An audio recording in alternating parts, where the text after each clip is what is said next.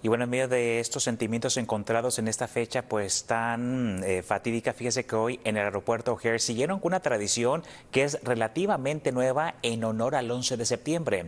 Y es que los empleados de la empresa United empacaron miles y miles de paquetes de comida. Se trata de una iniciativa de servicio de voluntariado que comenzó hace aproximadamente tres años. Dicen que además de marcar la diferencia, buscan darle con este tipo de esfuerzos un distinto enfoque a este triste aniversario y también que sea aprovechado para simplemente ayudar al prójimo.